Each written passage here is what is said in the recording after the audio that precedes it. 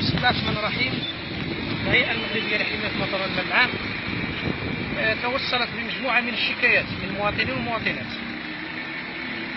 هاد المواطنين كيعبروا على الاستياء ديالهم حول ما يحدث في هذا المستشفى الإقليمي هذا المستشفى الإقليمي محمد الخامس بمدينة الجديدة كيتعرضوا فيه المواطنين والمواطنات. كيتعرضوا فيه للابتزاز. كيتعرضوا فيه لسوء المعاملة. وكيتعرضوا فيه للإهمال.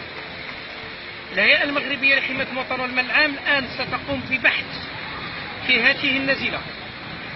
بكون أن أحد أعضاء الهيئه المغربية لحمايه الوطن والمال العام تعرض الإبن ديالو إلى حادثة سير خطيرة ونقل على إثرها إلى هذا المستشفى الإقليمي. وهو في حالة الله اللي كيعلم بالحال ديالو.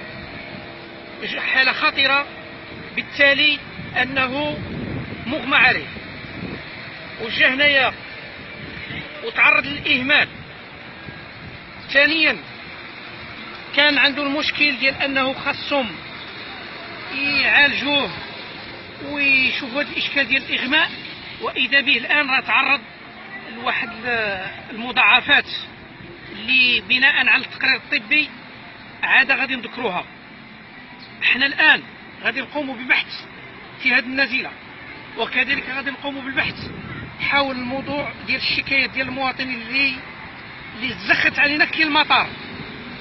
راه المواطنين جميعا هنايا بالاقليم الجديده راه هما كيعانوا من هذا من هذا المستشفى. ومن سوء التسيير والتدبير وبأن هذا المستشفى فهو عبارة عن مجزرة. راه ماشي بخدمة المواطنين هذا. كنوجه رسالة إلى المندوب ديال الصحة هنا بالجديدة وكذلك إلى إدارة هذا المستشفى اللي حاشا واش يحمل هذا الإسم ديال المستشفى. الا ما كنتوش قادين تخدموا سيروا ديوركم وعطيو المسؤولية لولاد الناس المغاربة اللي قادين على المسؤولية. المسؤولية راه تكليف وماشي تشريف. راه كنحملكم المسؤولية ديال الأوضاع اللي كتجرى هنايا.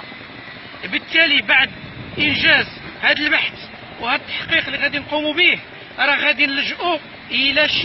إلى القضاء. غادي توجهوا بالشكاية إلى السيد وكيل الملك. حاول أي واحد ساهم في الإهمال. ديال أي مواطن من المواطنين. ثم كذلك الإهمال اللي تعرض ليه ولد من الضوء هذاك الإهمال إذا ثبت في حقهم. بعد البحث اللي غادي نجريوه راه أننا سنلجأ الآن إلى السيد وكيل الملك. وأننا ما غنتفكوا مع حتى شي واحد. وما غنتعاونوش معاه. وما غنتزاكلوش معاه. وغادي نبهدلوه من الصغير حتى الكبير غيتبهدلو. وهذه رسالة بالتي هي أحسن. كنطلبوا من جميع الجهات المسؤولة هنا بإقليم الجديدة وعلى مستوى الجهوي والوطني. تحلوا هذا المشكل ديال هذه الزبالة هذه تحلوها واحد. ما غتحلوهاش راه غادي نجيب لكم واحد القوم غادي يعتصم هنا وغادي يبرك هنا. وراكم غتحملوا النتيجة ديال ما سيحدث. وراك أنتم تعلمون أنني لست ممن يقول ولا يفعل. وهذا إنذار أصفر في وجهكم بالعربية